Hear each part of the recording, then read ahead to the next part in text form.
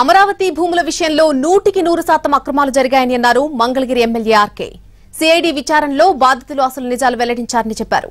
భూముల కేటాయింపులో అక్రమాల కేసుపై కోర్టు నాలుగు వారాల వరకు మాత్రమే స్టే ఇచ్చిందని అన్నారు. ఫిర్యాదుదారులు దళితులను టీడీపీ నేతలు భయభ్రాంతులు గురిచేస్తున్నారన్న ఆర్కేతో మా ప్రతినిధి Sudheer face to face Amaravati రాజధాని భూముల కేటాయింపు టీడీపీ వైసీపీ మధ్య మాటల యుద్ధానికి దారితీస్తుంది. ప్రస్తుతం ఈ రోజు ధూళిపాల నరేంద్ర చేసిన కామెంట్స్పై వైసీపీ నేతలు ఆగ్రహం వ్యక్తం చేస్తున్నారు. అయితే మనతో మాట్లాడడానికి ఎమ్మెల్యే ఆర్కే గారు ఉన్నారు. వారిని అడిగి పూర్తి వివరాలు తెలుసుకున్నారు సార్ చెప్పండి ధూళిపాల నరేంద్ర చేసిన కామెంట్స్పై మీరు ఎలా స్పందిస్తారు? ఇన్ని రోజులు కనిపించిన అసెంబ్లీ లైన్స్ ఇప్పుడే కనిపిస్తున్నాయా వైసీపీ అని చెప్పేసి ఆయన ప్రశ్నిస్తున్నారు. మొట్టమొదటి నుంచి కూడా చంద్రబాబు నాయుడు తెలుగుదేశం అప్పటి ప్రభుత్వము. ఖచ్చితంగా రాజధాని పేరుతోటి వేల కోట్ల రూపాయలు దోచుకోవటానికే అమరావతిని రాజధానిగా ఎంచుకున్నారు అనే దాని మీద వివిధ అంశాలని సాక్ష్యాధారాలతోటి వైఎస్ఆర్ కాంగ్రెస్ పార్టీ ప్రజల మధ్య నిరూపిస్తూ పోరాటాలు చేస్తున్నటువంటి సంగతి మనందరికీ తెలిసిందే. ఆ రోజున కూడా మేము గొంతెత్తాం. ఎందుకంటే మా మంగళగిరి తాడికొండ రెండు రాజధాని అమరావతి ప్రాంతంలో ఉండటం అక్కడ ప్రజలకు జరిగినటువంటి అన్యాయాలు రైతులకు కానివ్వండి దళిత సోదరులకు కానివ్వండి జరిగినటువంటి అన్యాయాలు చంద్రబాబు నాయుడు మనుషులు చంద్రబాబు నాయుడు బినామీలు ఏ విధంగా మోసం చేశారు అనే దాన్ని మేము ఎస్టాబ్లిష్ చేసినప్పుడు ఏ రైతన్నా ఏ దళిత సోదరుడు అయితే ముందుకు వచ్చారో వాళ్ళని భయపెట్టడం బెదిరించడం కొట్టడం పోలీస్ కేసులు పెట్టించడం చివరికి జైలు పాలు చేయడం కూడా జరిగిందండి. అంటే భూముల కేటాయింపులో ఎలాంటి అక్రమాలు జరగలేదని చెప్పేసి చెప్తున్నప్పటికీ ఇప్పుడు సిఐడి విచారణ ఎందుకు? బలవంతంగా అక్కడ ఉన్న దళితులను మీరు భయపెట్టిస్తున్నారు ప్రభుత్వంలో ఉన్న మీరు భయపెట్టిస్తున్నారని చెప్పేసి కామెంట్ చేస్తున్నారు. దళిత సోదరులు స్వచ్ఛందంగా తమంతట తాము. ఈ రోజున ఎవరైతే దూలిపాళ్ళ నరేంద్ర గారు చెప్తా ఉన్నారో మేము వీడియోలు తీపిచ్చాము ఆ దళిత సోదరులు లేదా మిగతా వాళ్ళు చెప్తా ఉన్నారు తెలుగుదేశం తెలుగుదేశం వాళ్ళు ఎవరు కూడా మమ్మల్ని మోసగించలేదు లేదా భయపెట్టలేదు అనేది పూర్తిగా అవాస్తవం. ఎందుకంటే ఎవరైతే దళిత సోదరులు నా దగ్గరకు వచ్చి అన్న మా భూముల్ని కాజేశాడు మా పీఓటీ చట్టాలు పిఓఏ చట్టాలని అతిక్రమించి మరీ ప్యాకేజీలు మాకు ఇవ్వకుండా అసలు తీసుకోకుండానే మమ్మల్ని ఇబ్బందులు పాలు చేశాడు అని చెప్పి నా దగ్గరకు వచ్చారు.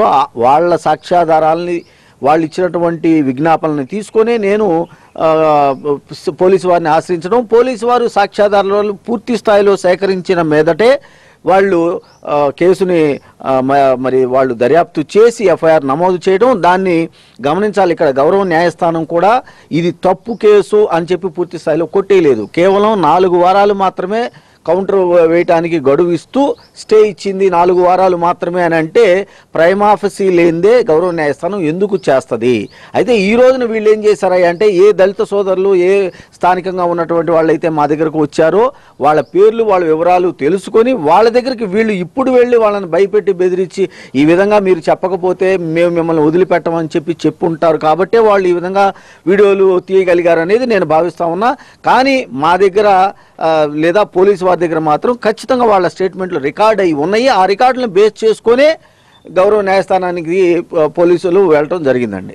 వైసీపీ నాయకులకు దమ్ముంటే రాజధానిని అమరావతి నుంచి మారుస్తున్నామని చెప్పేసి ముఖ్యమంత్రితో ఎందుకు చెప్పించడం లేదు అని చెప్పేసి కూడా క్వశ్చన్ చేస్తున్నారు.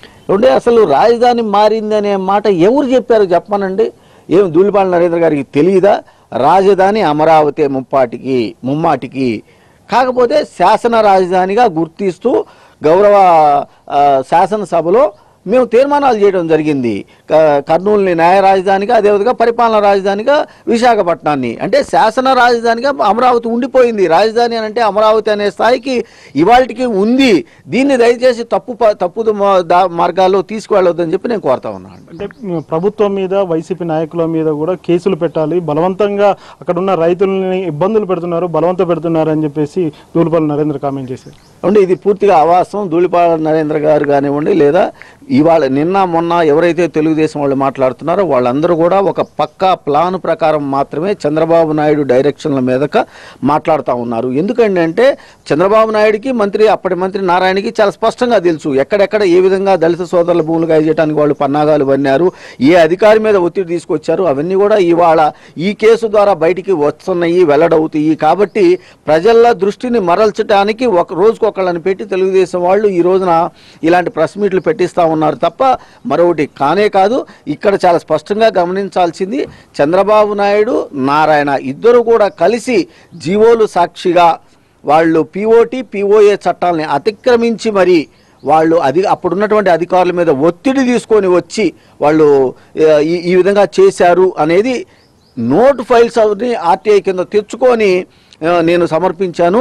ఆ నోట్ ఫైల్స్ అదే చెప్తున్నా ఒక వివరాలు బయటికి ఇస్తే వాళ్ళు వాళ్ళ దగ్గరికి వెళ్ళిపోవడం రేత్రిపోవటం లేదా ఏదో ఒక సమయంలో వాళ్ళని బెదిరించడం జరుగుతూ ఉంది.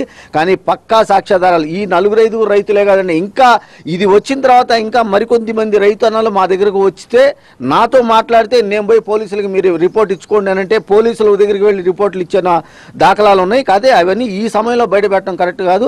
కానీ ఇవన్నీ కూడా పోలీసులు అతి త్వరలోనే బయట పెడతారు. అధికారుల మీద ఒత్తిడి తీసుకొని వచ్చి మరీ జీవో జీవోలు ఇప్పించాడు అనేది నోట్ ఫైల్స్లో ఉన్నాయి. చంద్రబాబు నాయుడు నారాయణ ఇవన్నీ పూర్తి సాక్ష్యాధారాలతోటి త్వరలో బయటికి రాబోతా ఉన్నాయి. వీటిని కప్పిపుచ్చడానికి ప్రజల దృష్టిని మరల్చడానికి మాత్రమే వాళ్ళు ఈ విధంగా చేస్తా ఉన్నారనేది చెబుతూ ఒకే ఒక విషయాన్ని ప్రజలు గమనించమని చెప్పి కోరుకుంటా ఉన్నానండి. ఏది ఏమైనా కానీ అమరావతి భూమి కేటాయింపులో ఖచ్చితంగా నాటి ప్రభుత్వంలో ఉన్న పెద్దలందరూ కూడా తప్పు చేశారు. దానికి సంబంధించిన ఆధారాలన్నీ తమ దగ్గర ఉన్నాయి. దీనికి సంబంధించి ఒక నాలుగు వారాల్లోనే పూర్తి వివరాలన్నీ బయటకు వస్తాయని చెప్పేసి కూడా ఎమ్మెల్యే ఆర్కే చెప్తున్నారు. కెమెరామెన్ ప్రభాకర్తో సుధీర్ ఎన్టీవీ హైదరాబాద్.